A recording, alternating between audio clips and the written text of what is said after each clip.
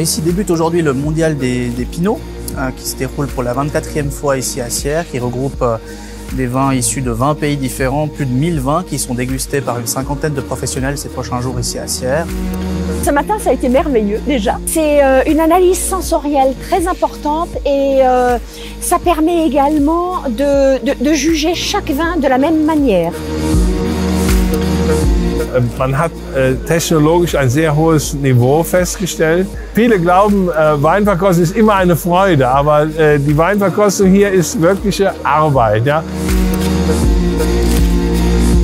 J'étais dans un jury euh, très complexe avec des dégustateurs très professionnels.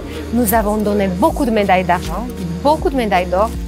On a donné un bon pourcentage aussi de médailles d'or. Son vinos con muchos aromas. Son vinos muy jóvenes porque todos son del año 2020, del 2020. Aujourd'hui, nous avons avec des collègues débouchonnés pour le Mondial des Pinots. Il y a une belle amitié entre nous et puis une belle collaboration justement avec ces dames qui font le service après coup.